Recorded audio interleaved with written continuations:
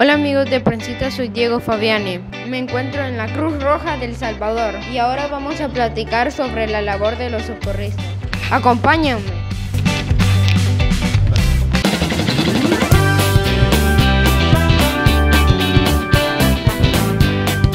Bueno amiguitos, ya estamos acá acompañados con Eduardo y Jorge. Hola amiguitos de Prensita, bienvenido Diego. Hola amiguitos de Prensita, bienvenido Diego. Jorge, ¿desde qué año existe Cruz Roja?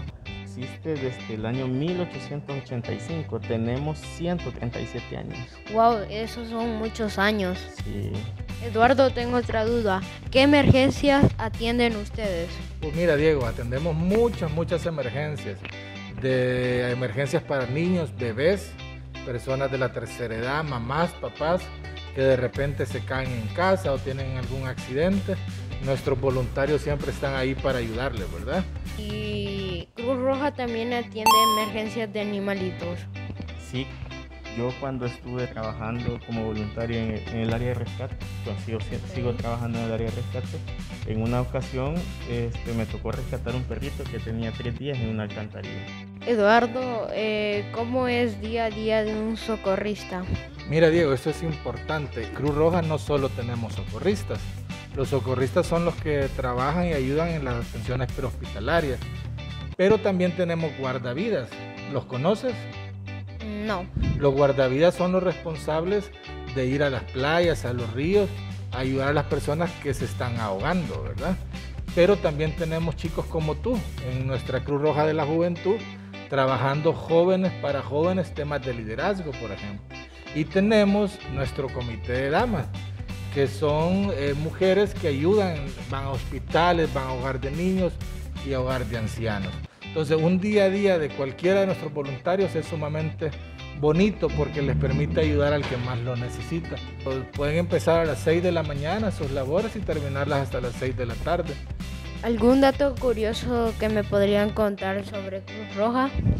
¿Tú sabes, Diego, qué son los premios Nobel de la Paz? No, no lo sé. Los premios Nobel de la Paz son premios importantes que les dan a personas o instituciones que han hecho grandes contribuciones al mundo para preservar la paz. ¿Sabías que Cruz Roja como movimiento internacional ha ganado cuatro? ¡Wow! El primer premio Nobel de la Paz lo gana Cruz Roja, el fundador de nosotros, Henry Dunant, que por él nosotros celebramos el 8 de mayo. Okay. Él cumple años el 8 de mayo. ¿Cuántas ambulancias hay en la Cruz Roja? Tenemos a nivel nacional un poquito más de 45 ambulancias, pero también tenemos pick-up, tenemos pipas para llevar agua a las comunidades. Cuando las casas no tienen agua, las familias no tienen agua, nosotros les llevamos agua. Y tenemos unos camiones bien grandes que cuando hay inundaciones, nosotros entramos en esos camiones para rescatar a las personas. Y además tenemos un, un, busito, un microbús bien bonito donde vamos a recolectar sangre a todas las empresas que nos quieren ayudar, ¿verdad? Eh, si mis papás van manejando y escuchan la sirena, ¿qué tienen que hacer? Tranquilamente. Tienen que ver en sus espejos retrovisores dónde viene el sonido de la ambulancia. Y cuando la ubican, hacerse a un costado de la calle para que la ambulancia pueda pasar por en medio. ¿A qué número tengo que llamar cuando se me presenta un problema? Mira, el número de emergencia es el 2222-5155. Nuestro servicio es humanitario y las empresas y las personas que nos colaboran es lo que nos permite apoyar estas emergencias. Entonces es importante que, que, la gente sepa esto, ¿verdad? No tengo más dudas, pero me gustaría saber si me podrían dar un recorrido con mis amigos de Prensita. Con gusto, te vamos a hacer un recorrido por todas las oficinas de la Cruz Roja para que todos tus amiguitos la conozcan. Ok.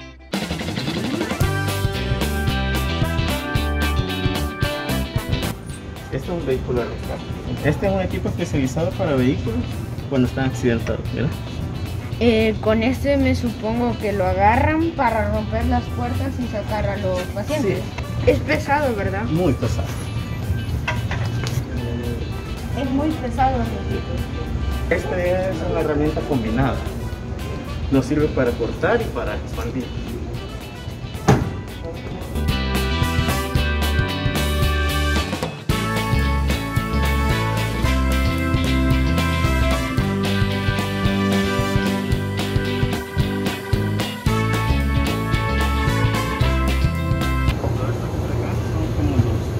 Mecanismos para activar la sirena, el sonido.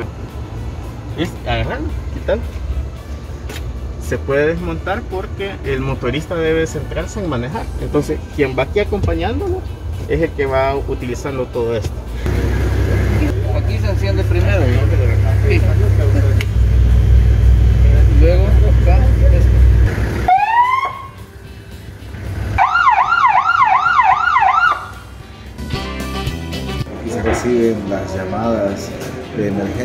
Por parte del sistema 911.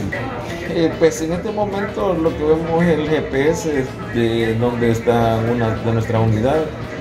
Aquí podemos buscar en el buscador eh, alguna de las unidades que nos interese saber, ¿verdad?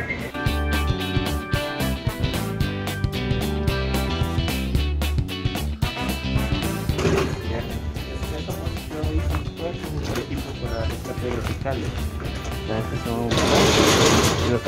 mira este tipo que parece que estaba allá, que te enseñé de allá. Y este también tiene sirena. Esos también tienen sirenas. Todos nuestros vehículos de emergencia tienen luces y sirenas para eh, poder abrirse espacio en las emergencias. Lo único que es que como es un camión más grande tenemos que manejarlo con más cuidado y requiere más espacio para poder llegar. Te voy a presentar a Enos. Hola, ¿qué tal? ¿Cómo estás? Enos, él es Diego, él es de Principia y está haciendo un reportaje sobre lo que hace la gente de la Cruz Roja. Yo le he contado de ti que tú atiendes todos los días emergencias.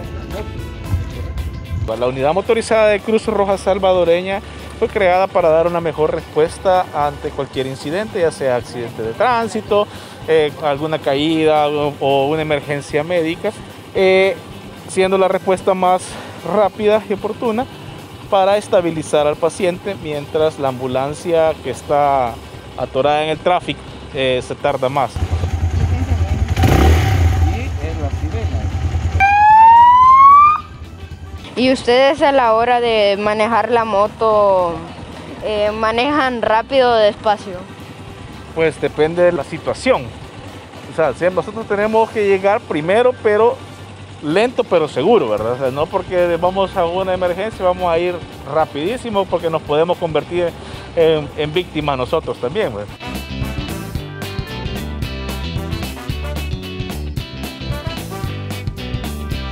Este es el busto de don Baltasar Jorge Escalante, que es el reconocido como fundador del cuerpo filial de socorristas aquí en Cruz Roja Salvadoreña. Lo fundó un 31 de octubre de 1951.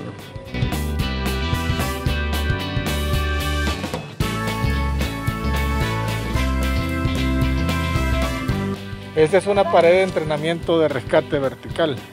Entonces la gente tiene que subirse, nuestros voluntarios aquí practican con todas las medidas de seguridad. ¿verdad?